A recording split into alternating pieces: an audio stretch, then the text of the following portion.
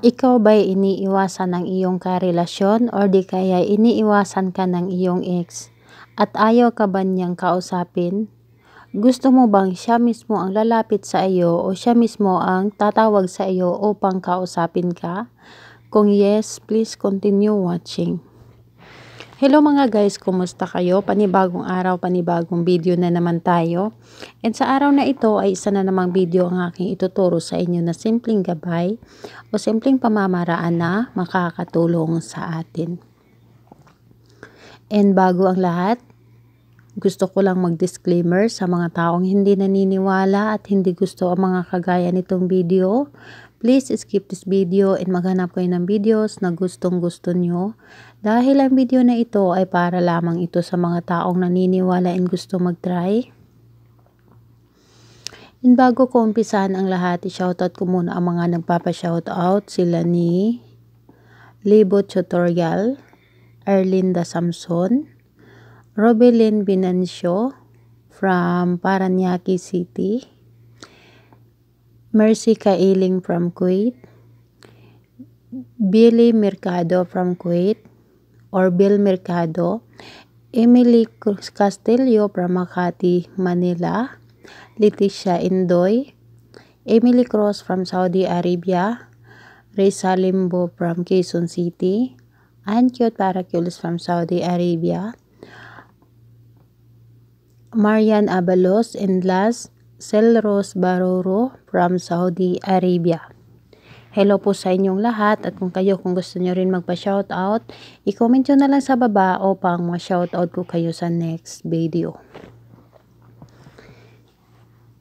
Ngayon, ituturo ko sa inyo ang isang spell upang ang inyong karelasyon or ang inyong ex mismo ang lalapit sa inyo upang tawagan kayo. Or di kaya may taong umiiwas sa inyo na hindi kayo kausapin tulad ng may utang sa inyo, ay pwedeng pwede ninyong gawa nito upang tatawagan kayo ng iyong karelasyon or yung taong umiiwas sa inyo. Halimbawa na lamang yung taong may utang sa inyo na iniiwasan kayo, ayaw kayong kausapin dahil alam nyo na sa ngayong panahon ay, ayun, ay matuto ng or natuto ng umiwas kapag nakuha na ang kanilang mga gusto. So, pwede ninyo itong gawin upang tawagan kayo sa taong iniiwasan kayo. So, kahit sino ay pwedeng gumawa nito and kailangan lang natin dito ng materyales upang magawa natin ang spell na ito. Ano nga ba ang materialis na ito? Kailangan lang natin dito ng isang dahon ng laurel. Kailangan natin dito ng kandilang puti, mapa yung maliit na kandila or malaki or gamit na pwede siyang gamitin and kahit anong kulay na panulat. Ngayon, kapag okay na, kapag ready na ang iyong materialis, ang gagawin mo lamang sa dahon ng laurel And i-make sure mo na alam ninyo ang taong inyong target, yung totoong pangalan niya at apelyido. So, sa, sa dahon ng laurel, isulat ninyo ng isang bisis lamang ang pangalan niya at apelyido ng malalaking litra. So, dapat malalaking litra, capital letter po ang ating gagamitin dito. And pangalan niya at apelyido ng isang bisis lamang mong isulat. So, kapag nasulat mo na ng isang bisis yung pangalan niya at apelyido, ang gagawin mo, isang tabi mo muna ito. Dito sa kandila, mapagamit na ito or bago, mapamaliit or ganito, tea candle. So, bago mo siya sindihan, humiling ka muna. Humiling ka muna dito sa kandila. Sabihin mo dito, hingian mo siya ng gabay or sabihin mo, bigyan kanya ng gabay sa iyong gagawin ngayon na mapabisa ito or mas malakas ang bisa nito sa, sa kanyang gabay, bigyan kanya ng energy na ang taong iyong gagawan ay masintro or matamaan siya sa iyong gagawin or gumana ito kaagad upang tawagan ka. So, kapag natapos ka ng humiling dito sa kandila, kapag nasabi mo na, sindihan mo. Sindihan mo ang kandila at titigan mo muna ang apoy ng kandila. Dahil sa mga hindi nakakaalam, yung kandila ay makapangyarihan at malaking maitutulong sa atin. So, kapag nasindihan mo na, titigan mo ang apoy ng kandila and i-empty yung i-empty yung pag-iisip mo. Kailangan na wala ka talagang iniisip kahit sino or wala kang ibang iniisip. So, isintro mo at isipin mo ang taong yon na sa, sa paningin mo, yung sa paningin mo ng apoy ng kandila ay mukha ng tao ng iyong target. So, isipin mo ng isipin yung taong iyong target, yung pagmumukha ng iyong target.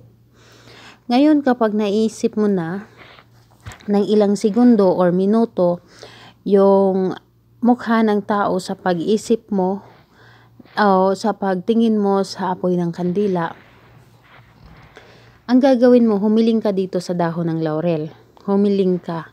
Hilingin mo dito, sabihin mo, tulungan mo ako na ang taong gagawan ko nito, si pangalan at apelyedo banggitin mo, tatawagan niya ako at hinding hindi niya ako iiwasan, kausapin niya ako, siya mismo ang lalapit sa akin at tatawagan niya ako, kausapin niya ako, lalong-lalo na sa taong iniiwasan ako, yung taong mahal ko, asawa ko, girlfriend ko, or di kaya boyfriend ko. So, sabihin mo lang dito kung ano yung nasa puso mo.